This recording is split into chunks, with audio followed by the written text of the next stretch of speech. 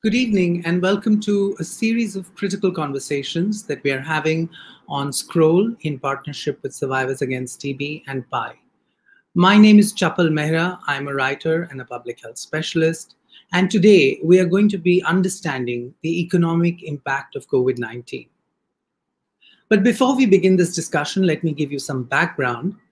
We all know that COVID 19 has brought the Indian economy and the global economy to a grinding halt with the national and state level lockdowns and an already slowing economy, jobs, production, sale and consumption of services, everything except essential goods have been affected.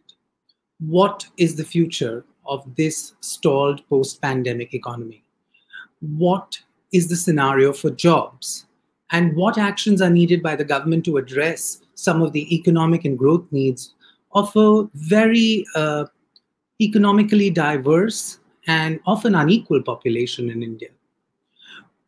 While our discussions are largely dominated uh, about around COVID-19 and the lockdown is slowly being lifted, this discussion becomes really critical because this possibly poses a greater challenge to us than even COVID-19 because uh, people are losing jobs, both in the formal and the informal economy, and families and communities are bound to suffer during this time of crisis. So, how do we start unwrapping and uh, understanding this multi layered and difficult question?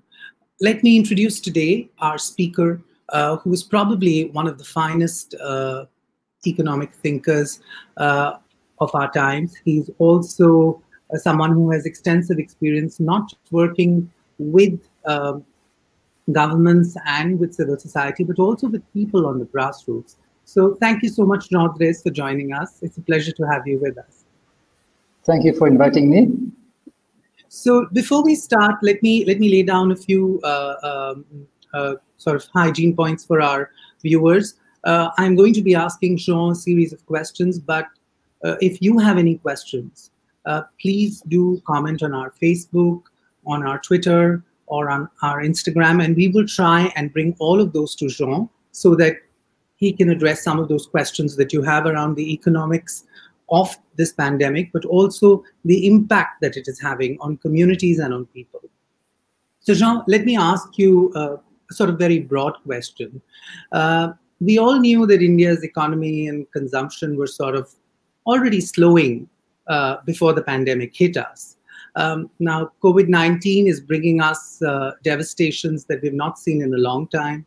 We're told our rate of growth is actually lower than it was in the 70s. Can you sort of uh, introduce us broadly to some of the key areas of impact for the formal and for the informal economy? I mean, where are we headed right now? And how are we going to be, uh, how should we be understanding this? Okay, that's a lot of questions to start with. Uh, I don't think we need a PhD in economics to understand that there was a crash of the economy during the lockdown.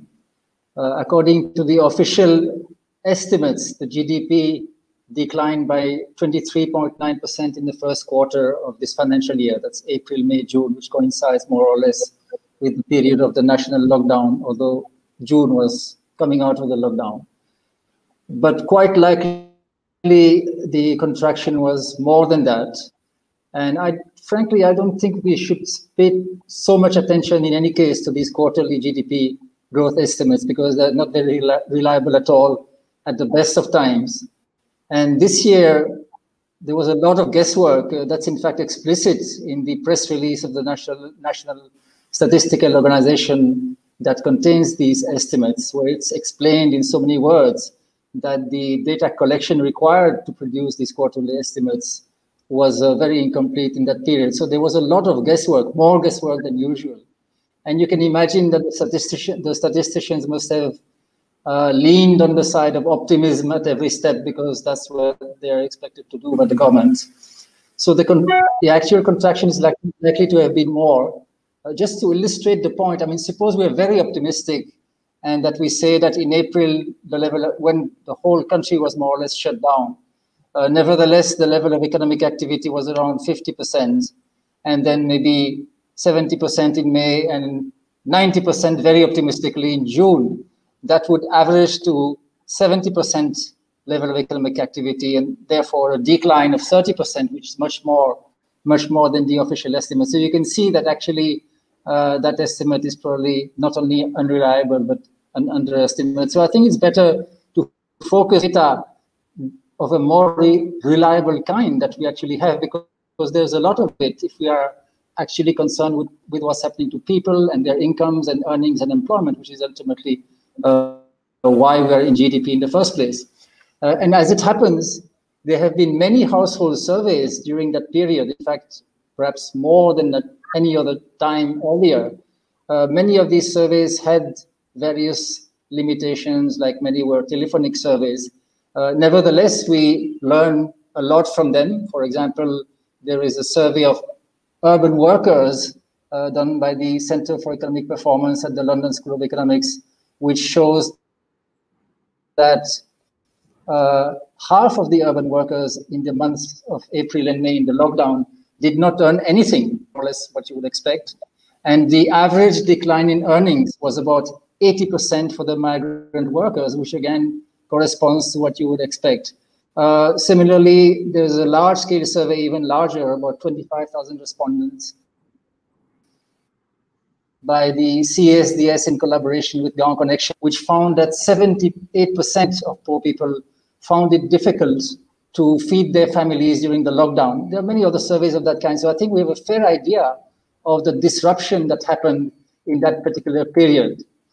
Uh, what we don't, I'm sorry, the lights went off, but I'll continue speaking. Uh, what we don't know so well is what happened after the month of June, because there's not much data on what happened uh, since.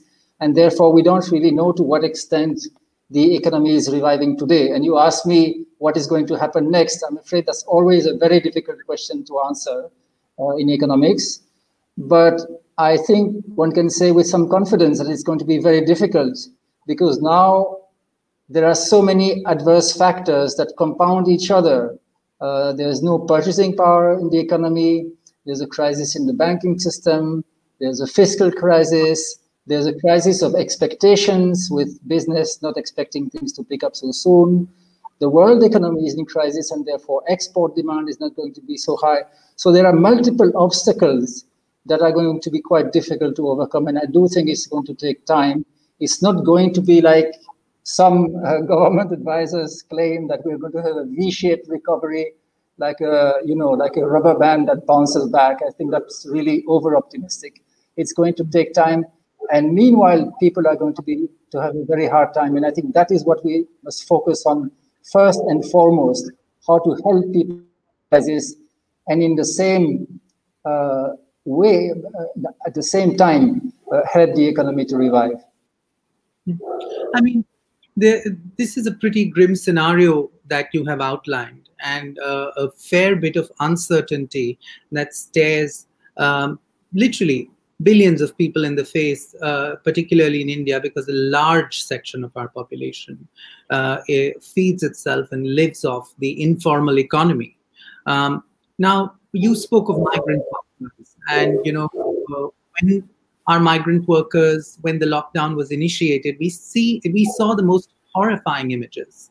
Um, you know, um, not just on our television screens, but everywhere in newspapers and um, on the internet reminding us how unequal and how vulnerable this population was because these are the people who build the economy. These are the building blocks. It is their sweat that builds up these big towers in which fancy offices work. And uh, we realized that we are not really going to be able to, we, we were not prepared to take care of our working class population at all. You know, this is the base of the uh, economy and and uh, we didn't even transport to go back. Forget about handouts. So uh, it it impacted people physically. It impacted people mentally and emotionally. Some people even died. Now, where do you think we could have done better? Because this is something that, while we claim so much bravado uh, as a growing economy, if the most the most the largest part of our population was so vulnerable, uh, what should we have done better? Uh, Chapal, I think you are right that a great injustice was done to migrant workers in this lockdown.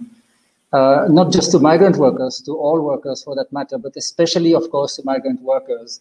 And in that respect, the lockdown was a little bit like demonetization, because in both cases, uh, very little attention was paid to the consequences for poor people. In a sense, demonetization was worse because demonetization, demonetization was just plain stupid in any case. So it was inflicting misery for no purpose. Uh, in the case of the lockdown, at least you can make some argument that some sort of lockdown was perhaps uh, necessary. But I think the lockdown was really very harsh, and especially so, of course, for migrant workers. In fact, if you remember, the trains were all cancelled just before the lockdown. So it's not even, you know, sometimes people say we were given four hours notice, but the migrant workers were not even given four hours notice. The trains were cancelled before the lockdowns, and then they were marooned thousands of kilometers from their homes without a job, without a shelter, sometimes without food, and without any sort of assistance. So that's really an extreme case of not paying attention. Now, in retrospect, I think one could have avoided this. Of course, it's always easy to be wise after the event. But remember, two months elapsed between the first case of coronavirus in India and the lockdown. So there was some time to think. And it seems to me, in retrospect, that the migrant workers, you know, some sort of uh, subsistence allowance could have been arranged for them so that they can decide whether to stay in place or whether to go back home with some assistance. And with a modest uh, uh, subsistence allowance, I think that many of them might have preferred to stay where they were, and then they could have stayed there, and the economy would have revived more easily later on, instead of them being marooned for weeks and then going back in the most awful conditions to villages where there's nothing for them to do, no employment, and then now them having, having to go back again, having spent all their money to places where they're not sure where they're going to get a job and where they fear that local lockdowns may be imposed again. So I think there would have been a, there were options, there were possibilities of doing much better, giving them uh, allowances, making shelters available to them, uh, community kitchens, and if necessary, transport them back home in a dignified and safe manner. Uh, so I think this is just one symptom of the general attention to the consequences of these policies for poor people. And for that matter, that's a chronic problem in economic policy in India. I think overall, not just during crisis like demonetization and the lockdown, we pay too little attention to these people because they are powerless. They don't have a voice. They just get a vote every five years, and the rest of the time they're just expected to keep quiet. Uh, so I think that was a very clear case of uh, dramatic uh, failure to have an enlightened social policy. Mm-hmm. I mean, this is the dramatic failure of the state, but also, to my mind, uh, uh, a dramatic failure of uh, uh, our own uh, society, in a sense. You know, yes, um, because we, we haven't we haven't been able to reach out and support this, or even question it, for that matter.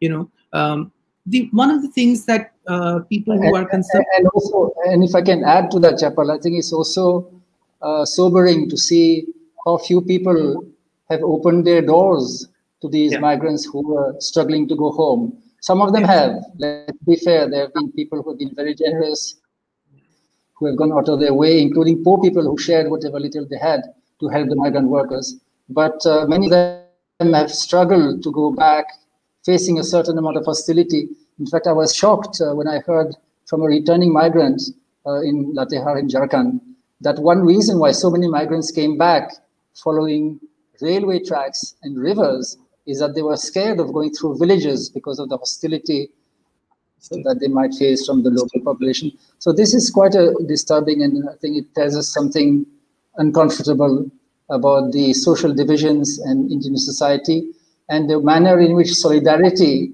it's not that it doesn't exist, there is solidarity, but it tends to be confined to one's own community and not to extend mm. across the barriers of caste and community and so on.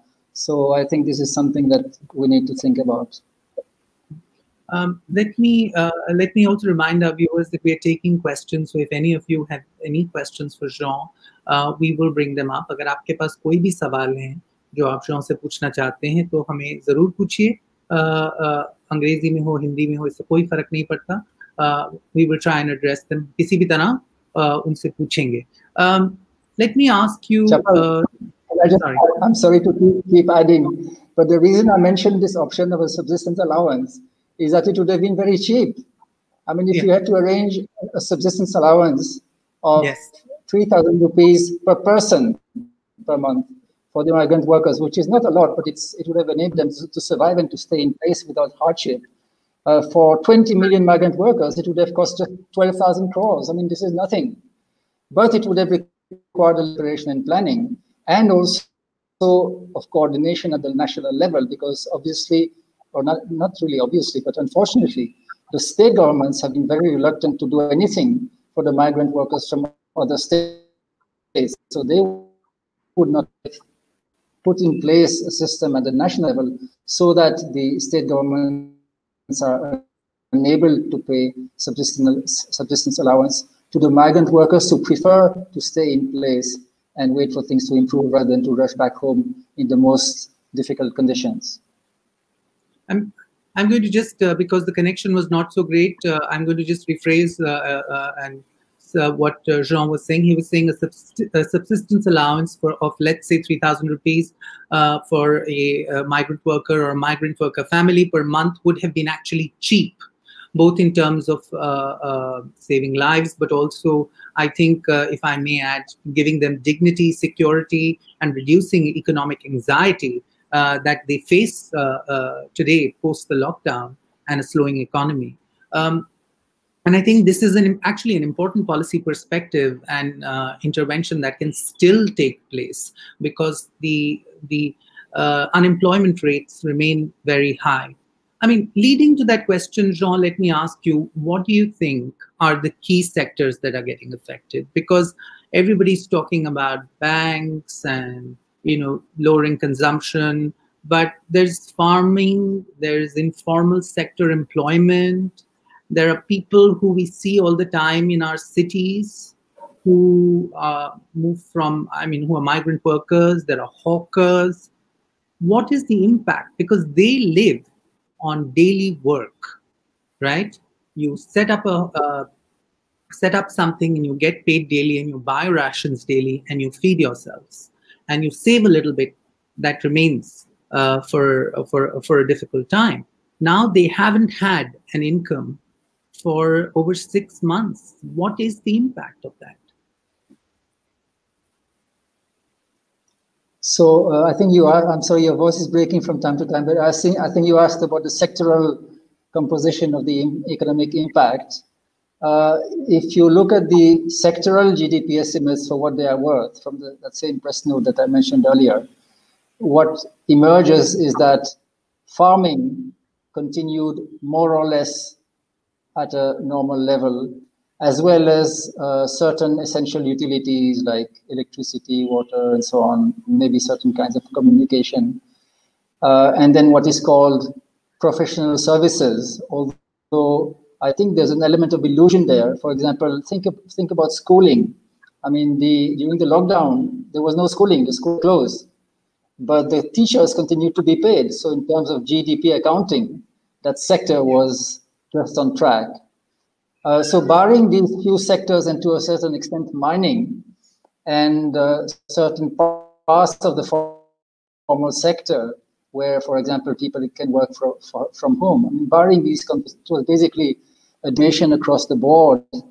And uh, especially, of course, the large informal sector, which employs about 90% of the workers. And uh, there's also evidence that the poorer workers were hit more uh, I mentioned earlier the survey of urban workers by the Center for Economic Performance at the London School of Economics. So they found an average decline in earnings of urban workers of 5% during the lockdown.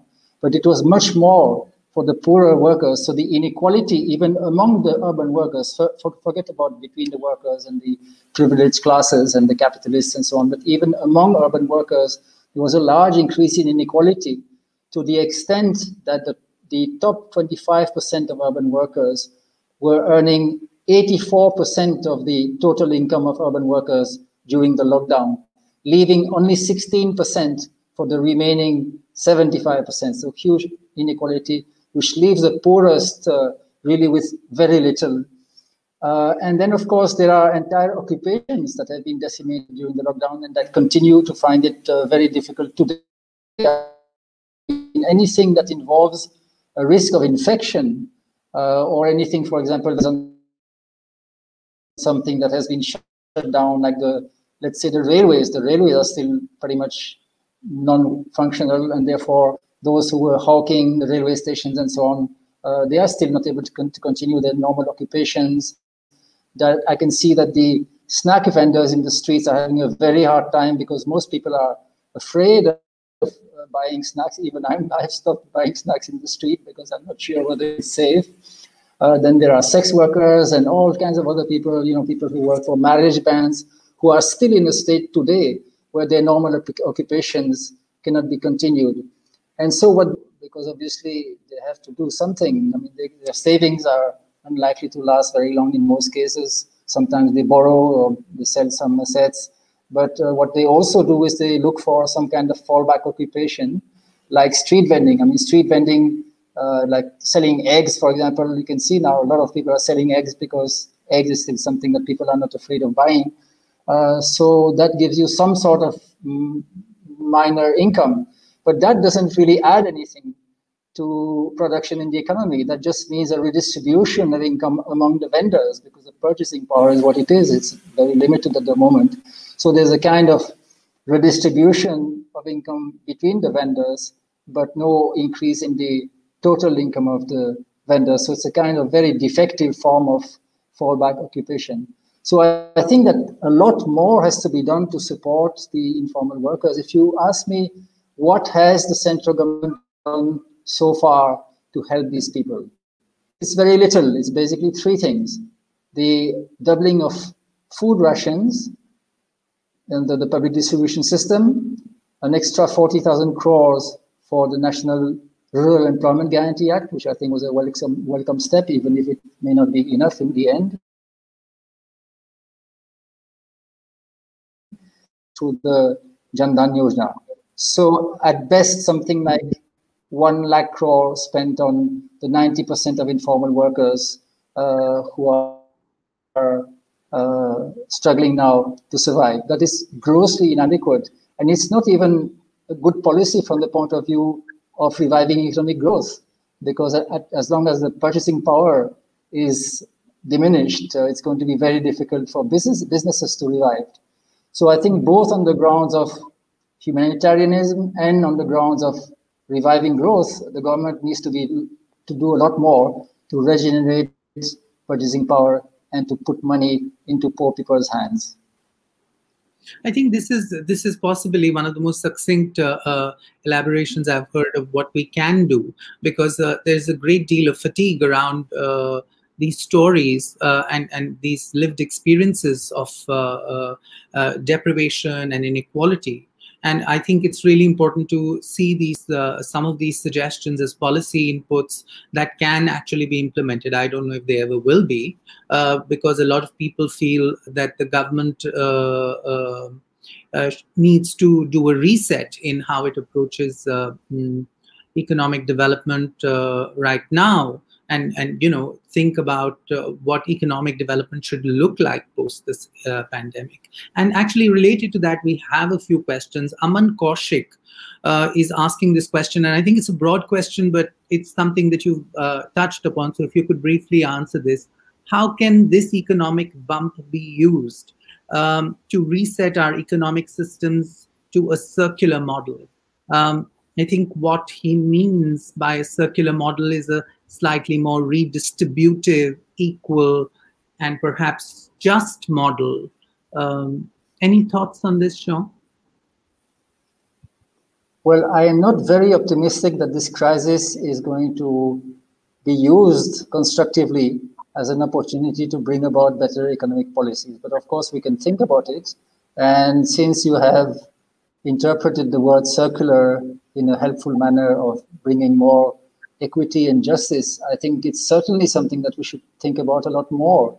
Because not only has the government done too little to help the poor, it has also done too little, in fact, virtually nothing, to uh, uh, the privileged classes to contribute. They should have, they should be contributing. This is a national crisis where a large part of the population is literally struggling to survive.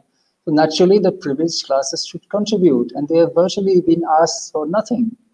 I mean, uh, we could think now uh, of uh, things like a wealth tax, for example. I mean, the richest people in India are so rich that we don't, we are just not able to imagine it. Uh, if I'm not mistaken, uh, there are about one billionaires in India. Dollar billionaires means that you have a wealth of about 8,000 crores. Now, why, why would anyone have 8,000 crores? I just don't get it. What are you supposed to do with that? And some of them have much more than 8,000 crores. Now, these 100 people, between them, have a wealth of about, uh, I think, 50 lakh crores. It's astronomical. Why can't we ask them on a one off basis to give, let's say, 5% of their wealth, they'll still keep 95%, like, you know, more than 7,500 crores, so that we can do something to help the people, people who are struggling to survive. Uh, but we're not even talking about this. Uh, even the public sector employees, for that matter, I know that I, some of my friends might uh, disown me if I say that, but look, the state governments are facing an even worse crisis than the central, much worse crisis than the said central government because unfortunately the GST has taken away most of their tax powers. Uh, the ta their tax revenue has crashed. Uh, they are now in a terrible financial crisis, and they are therefore unable to do much on their own uh, to help distressed people. But uh, one thing they can do, if they want, is to uh, ask for a contribution from the public sector employees, at least, or at least from the better off among the public sector employees who have now had a paid holiday, most of them, for the last six months. So I think that uh, it's absolutely right to say that this is a time when we should think about equity measures and ask the rich people to contribute more, and uh, not just during the lockdown, but hopefully beyond that as well. A new redistributive model uh, of uh, uh, of income and taxation in a sense is what you're pointing towards an idea that uh, a lot of the upper classes in india might find scary but uh, um, uh, in the long term it might be what uh, the country actually needs because the largest section of this country's population is still poor and still working in informal employment. We should not forget that. Um, Another question that has come to us from Tosif Siddiqui is about how independent, both politically and financially, are state governments in implementing policies for helping poor and underprivileged people, while central government bluntly is ignoring them at the moment. I think this is the chicken and egg situation, especially after the GST, isn't it? Because we keep saying, oh, state government should do something, but where will state government get the money from? I mean, what, what is your view on this, Jean? Well, I think I've already answered that to some extent. I think it's absolutely right that the uh, state governments are facing a huge fiscal crisis at the moment, made all the worse by the fact that the central government is refusing to pay its GST dues. So there's not a lot that the state state governments can do on their own uh, to get out of that, and that's why it's so important for the central government uh, to do more to help them. I just find it incomprehensible that the central government can be so hostile to the state governments. And I mentioned that one of the few things Uh, that they can do, and they can do some things to raise revenues on their own, would be to ask the better off among the public sector employees to contribute, because the salaries of public sector employees is a huge part of the state budgets. In many states, it's about one third of the total budget. I'm not saying you should take a big chunk of it, but even a small chunk of it will make a big difference. For example, in Jharkhand today, the government is struggling to put 200 crores together to give food rations to those who don't, who, who to poor people, in fact, to the poorest people who don't have a ration card, trying to cars to 15 lakh people at its own cost and struggling to find the money for it.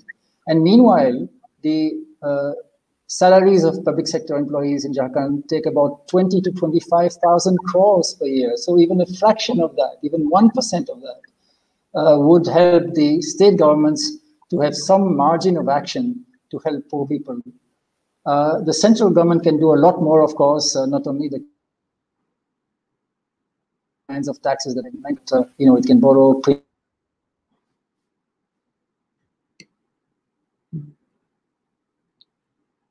I think we have, have, Yeah, I'm sorry we lost yeah. you for a little bit, Jean, but let me just say this, that I think Jean was talking about what the state governments could do and what the central governments could do, and also in particular, uh, how uh, people who are already privileged in a sense have stable economic uh, situations can contribute to providing some support to coming out of this crisis, especially for people who are uh, um, in economically vulnerable situations. Jean, let me turn to another question that we often talk about and we don't seem to stress enough on. We've already uh, always celebrated our demographics, right? We're a young country. And in fact, when I was doing these discussions with a lot of public health folks, they were like, India will have a better survival rate because we are a young population. But the truth is that there are thousands and lakhs of people coming out of schools and colleges whose education and employment is now looking deeply uncertain, right? Uh, how are these folks supposed to deal with this? And what do you think will be the social impact of this? I'm asking you this because you've done a lot of work on education and health. But I mean, for, for a moment to imagine a scenario that there are going to be generations that are not going to have uh, the possibility of employment, what, what are we looking at? So uh, your voice is also breaking a little bit, but I heard you asking about the uh, the kinds of uh, social consequences of unemployment. Uh, it's yeah. hard to tell, of course, and we don't really have much information on what's going on, but we can certainly think of certain possibilities. Uh, one is that people will start looking for a scapegoat or scapegoats or be made to look for scapegoats which is a common pattern in situations of mass unemployment. Uh, that is how uh, the Germans in the 1930s during the Great Depression were made to look for scapegoats among the Jews. And unfortunately, how today uh, some people are being told that uh, it's all the fault of the Muslims and they are the ones who are bringing infection and so on and so forth. Uh, I don't know if you remember the case of a man called Regar in Rajasthan uh, who in 2016 or maybe it was early 2017 uh, had hacked to death a Muslim person on camera. Uh, he was a person who had lost his job. He was a kind of small time marble trader and he lost his business. He went bankrupt. And after that, he sat at home and looked at, looked at all kinds of incendiary videos, anti-Muslims, and so on. And then he ended up killing this person was completely innocent. Somebody didn't even know. Uh, so these are alarm bells. I mean, these are these are the kind of thing, uh, as you know, that could happen on a much larger scale today because of the nature of the media and the disinformation system. So this is one of the kinds of social consequences that one could see. Uh, one could also see mental health issues. I mean, one of the insights from the surveys I mentioned earlier about what happened during the lockdown is that many people were under mental stress. You know, they had anxiety, depression. Uh, one survey in Delhi found that uh, half of the respondents had problems sleeping at night because of anxiety. So that's another kind of consequence that one could see. And then a third consequence, a third possible consequence, is a further reduction in the labor force participation of women, which is already very low in India, one of the lowest in the world, except for some parts of West Asia, and unfortunately declining uh, in recent years. Uh, this is a big loss in many ways. Uh, it's a loss of freedom for women, it's a loss for the economy, and it puts women in a situation of dependence on men that creates all kinds of gender inequalities. So I think it would be very unfortunate if the labor force participation of women were to decline further because of the mass unemployment that we are likely to see in the near future. I mean, uh, this again is, uh, I think, a, a possibility. Uh, uh the possibilities that you are identifying are again chilling, because you're talking of social uh, dissonance and unrest. You're talking of uh, mental health issues. you're talking of gender parity. Yeah. I mean, the, as possibilities, these are scary, just as possibilities. these are scary because we've only been inching towards some of these goals very slowly. Um, even in our development model, uh, these have not been our primary goals in any case. Um, you and Amartya have done a lot of work around education, health. I want to focus a little bit uh, uh, on these issues and also on nutrition because uh, across the board we are hearing stories about how people cannot get enough to eat. A large uh, a number of these people, or very often, are women and children. Um, the government says that it has doubled its rations, but is it really enough? And what constitutes good nutrition is something that we, we don't seem to be discussing at all, because all we are concerned about is that if you got enough to eat, and what is that enough? Is that good nutrition? Because to good nutrition is linked to cognitive abilities and learning abilities and the uh, ability to learn skills. And all of this is linked to economic growth and development, something that we worship rather arduously um, in, in our public narrative. So, what do you think uh, if we do not do effective work on nutrition at this point, or for that matter, uh, invest in education uh, and health? What do you think is the likely uh, likely outcome? Because we know that, uh, for instance, catastrophic health costs are the single biggest reason for people to be pushed back into poverty, right? But Okay. Uh, That's a lot of questions.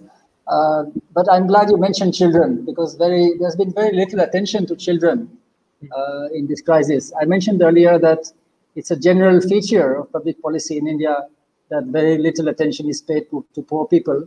And that applies even more to children because children are twice removed from the centers of power. They belong to poor households who are marginalized in the first place. And on top of that, they don't have a voice within the family. Uh, and that's one reason why during this lockdown, when one of the most important things uh, perhaps was to protect children from adverse uh, effects on their well-being and their future, uh, very little discussion has taken place on that. And in particular, as you know, uh, the school meals and the Anganwadi services uh, were, were discontinued without batting an eyelid in many states for a long time, and in some states they still have not resumed. I think that's a a matter of concern. Uh, the food rations you mentioned, you said, are they enough? I think that the, the, the, double food rations for those who have them, are enough to avoid hunger and to fulfill maybe your calorie norms, but not to be well nourished. So you are right to say that it's not enough. And we have to remember, of course, also very importantly, that 500 million people in India are outside the cover of the public distribution system including many poor people. And I think there the most important concern is for uh, landless workers, especially in places like Bihar, where there are huge numbers of them uh, who are uh, living from hand to mouth at the, at the best of times. So if they don't have a ration card right now, they're really in a very critical position. So I, I think it's extremely important to extend the coverage of the public distribution system to include them. And it's really inexplicable how the central government is refusing to release more of its excess food stocks for this purpose. Uh, several state governments, including Jharkhand, Rajasthan, and I think also Bihar, have been asking for small amounts of additional food stocks so that they can universalize the PDS in rural areas, and the central government has refused. So I think there's still a lot of work to do on that, and then we should definitely revive the uh, midday meals in all the schools, and uh, to the extent possible, uh, the uh, Anganwadi services, uh, certainly the critical Anganwadi, services as well. And I would even say more than the meals in the schools. You mentioned schooling. I think a lot of damage is being done to children, not only their health and nutrition, but also their education. I mean, a poor child who, as it is, has difficulties learning and, and keeping up with the curriculum if they're out of school for six months, you can be sure that firstly, they may or may not come back. And secondly, they are likely to, to forget a lot of what they had done earlier.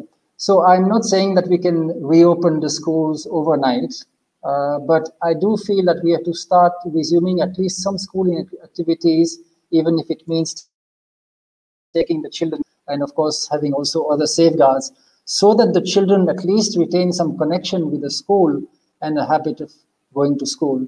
Uh, because the longer the schools are closed, the harder it will be after that uh, to uh, put them back into shape and to bring the children back and to uh, enable them to catch up with the loss. So there's a lot to do. Uh, you had mentioned my work with uh, Amartya Sen.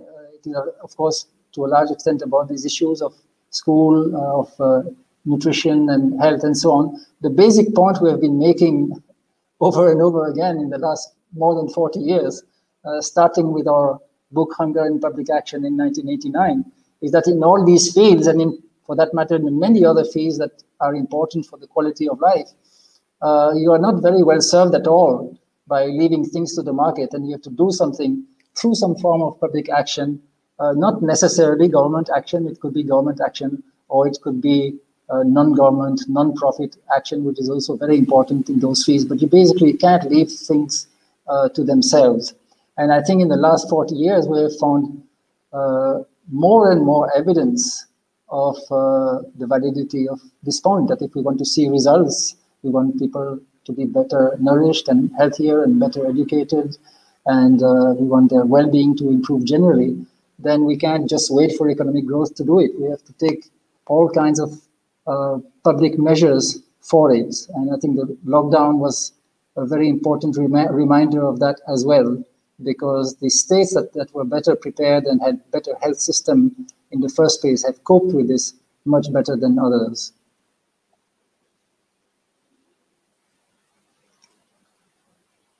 Oh, sorry. I was speaking and my mic was muted. Uh, thank you for helping us understand many of these layered issues, but also thank you for bringing about uh, uh, mentioning the excess food stocks. That was something that you were the first to talk about, and we still haven't seen any action on that. Because India has some, food stocks. some, but not, not enough, not enough. Yeah, but, I mean we've we've had six months of a virtual lockdown and we've had excess food stocks. Nobody should have got hungry. Uh, is Absolutely. is the critical point that i want to underscore that we are we we may not have uh, a lot of uh, cash lying around in that sense, a lot of resources, but we do have mm-hmm. food. And uh, in a sense, no Indian should be hungry at this point, at least should not have been in the first few months. Um, we've got a ton of questions and we've got just 10 minutes. So I'm going to ask you because I think a lot of viewers want to know your views on several things. Um, I think one of the things that uh, uh, that has been asked is: Is there both social and political negligence at work in reducing wealth disparity by implementing uh, inheritance ta inheritance tax or wealth tax uh, tax on the super rich, or is it just political? Can state governments implement this? I think this is a this really basically goes back to what you were mentioning earlier.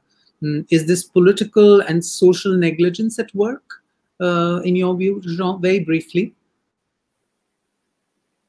Well, I think it's mainly a problem of resistance from the privileged. I mean, obviously, if you were to impose even a small wealth tax, you can be sure that there would be a huge reaction from those who are stand to lose.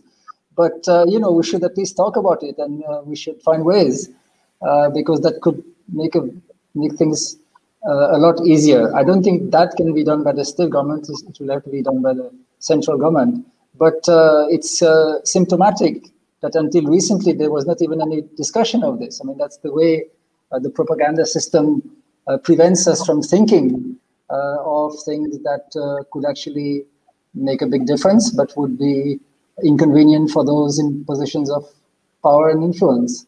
So I do think there are things we can do.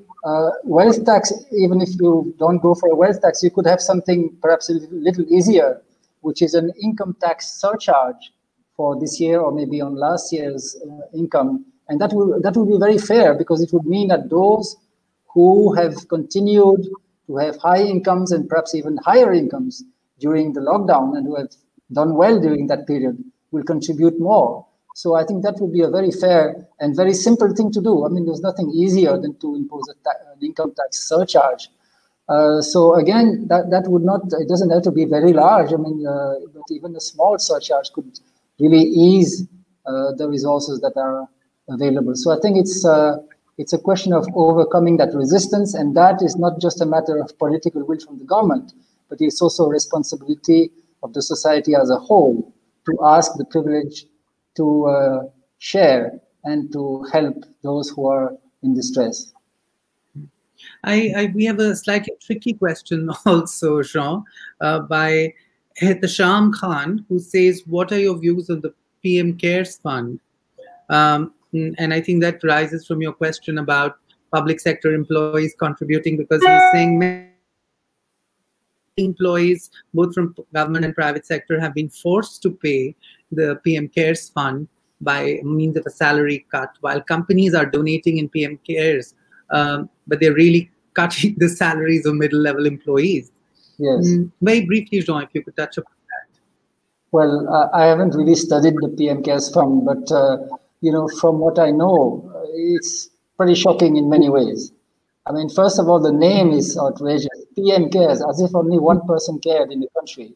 And of course, it has to be the PM. So even in this moment of crisis, when people are suffering, uh, somehow the system, the government, the PM think only about promoting the person at the top. I mean, that's very unfortunate.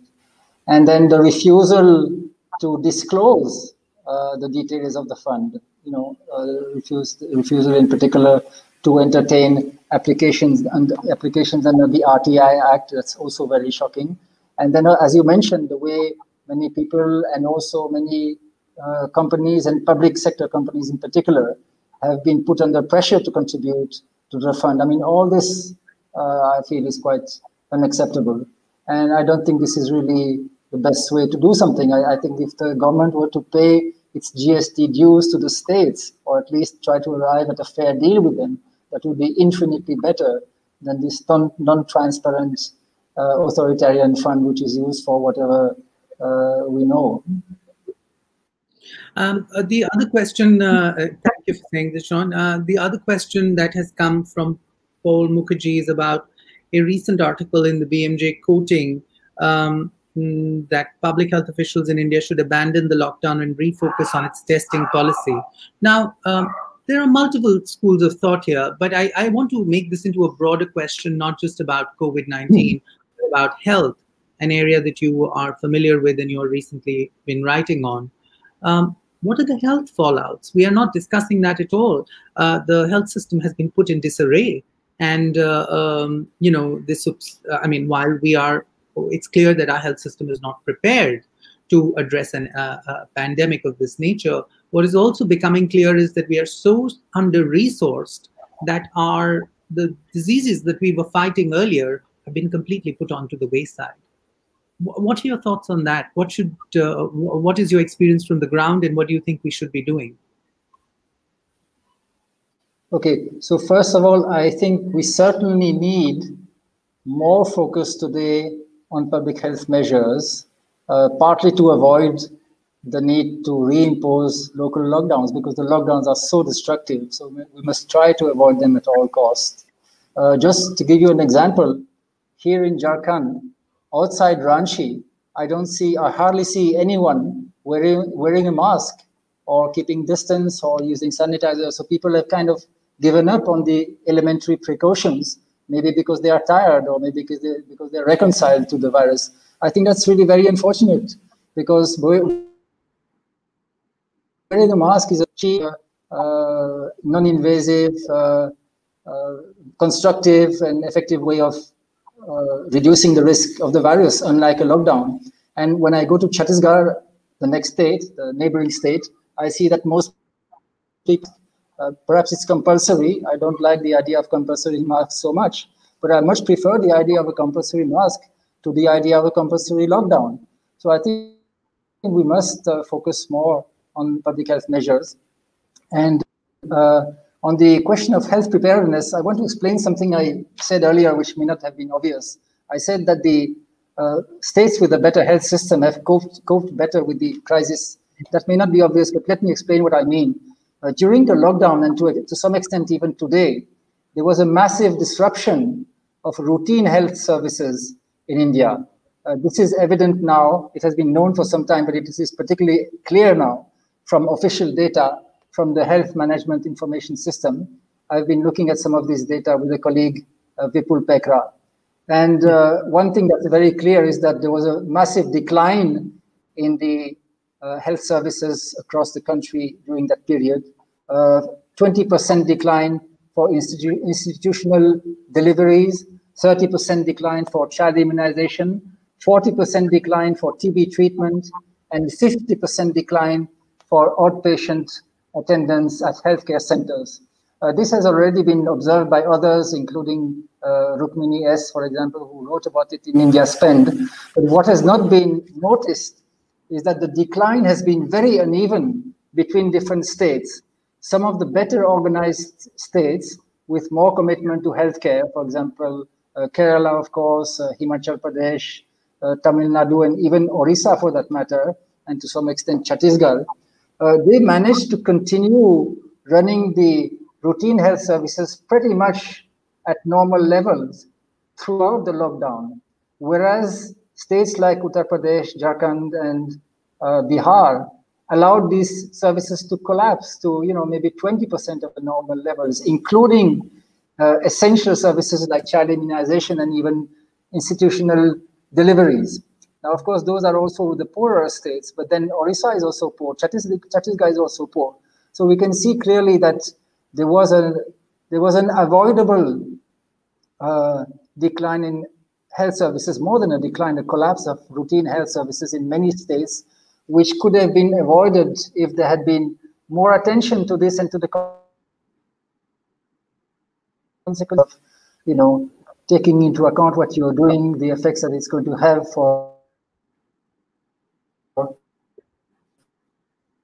going to pay a price for this uh, decline of health services. And one of the things that must be done today, aside from the general public health measures and making it possible for the economy to reopen, is to reactivate all the essential services, not just health, but all the essential services that have been discontinued, uh, in many cases, excessively so, I think, uh, during the lockdown.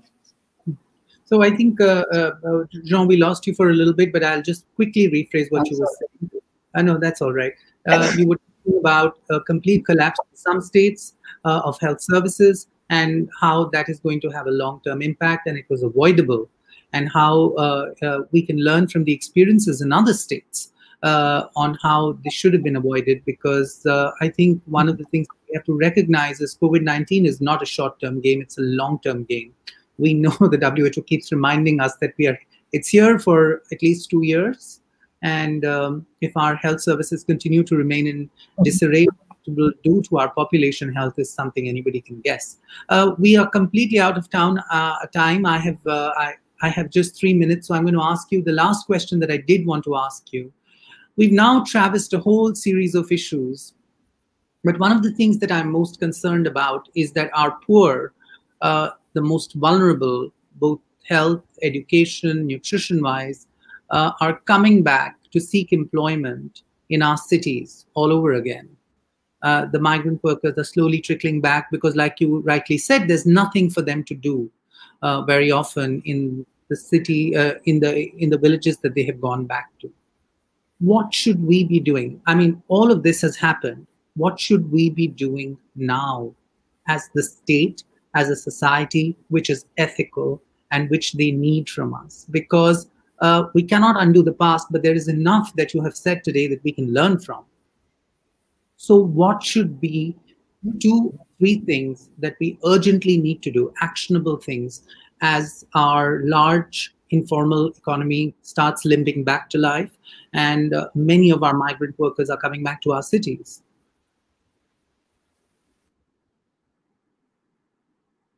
Okay, I guess you want a short response of time.